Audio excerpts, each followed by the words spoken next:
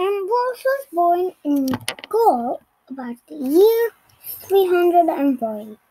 He was a noble family. He received a good education in Rome and became a poet and a famous speaker.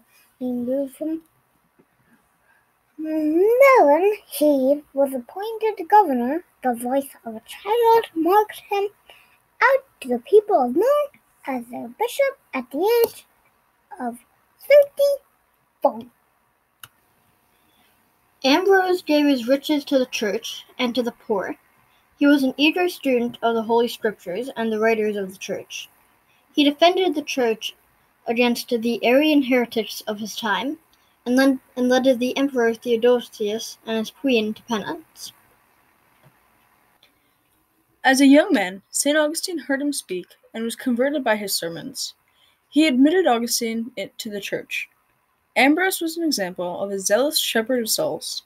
His heart was filled with a gentle love for the poor. Ambrose died in the year 397. He left us many important writings on the doctrines of our holy faith. The Church honors him as one of her greatest doctors and defenders. This is the reason why he is pictured holding a church in his hand. The beehive means wisdom. St. Ambrose's feast day is December 7th. He is the patron saint of candle makers. O God, God, by your grace, St. Ambrose, your bishop, became a great teacher of the Catholic faith and an example of apostolic fortitude.